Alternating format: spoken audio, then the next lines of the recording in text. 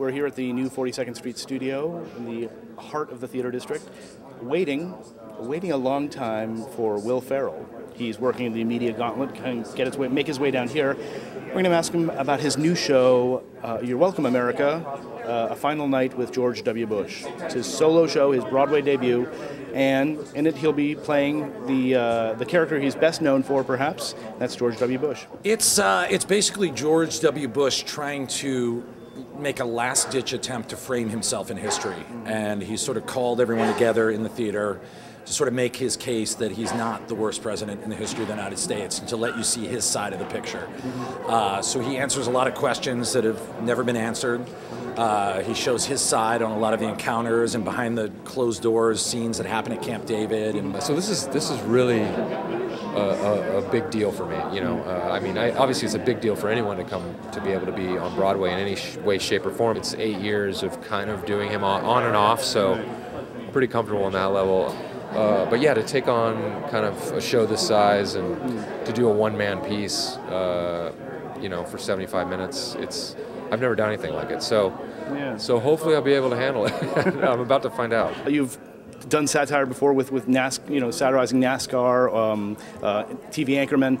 Is political satire a totally different beast, or what's that like? Well, you know, I actually wrote on SNL when Will was doing Bush on there. So I wrote a lot of the Bush things. I wrote a lot of the Clinton things with Darrell Hammond, uh, and I also read on Huffington Post a lot. You know, I would watch the way Darrell Hammond on Saturday Night Live would study someone so intently that he'd figure out the fact that they'd had dental surgery at some point in their life. You know, he was that much of a scientist with it. Watching video over and over. Yeah, and I, I'm way too lazy to do that. So, um, uh, but you know, the show we go in and out of him being brash and arrogant to wistful to to sad to all these things. So it's kind of fun to to take what probably was more of a one-dimensional depiction on Saturday Night Live and really kind of add all these colors in a weird way. Uh, and even though it's it's what we feel like a very funny comedy, there's still there's still a lot of moments I get to play that I, that I never got to do uh, on the show.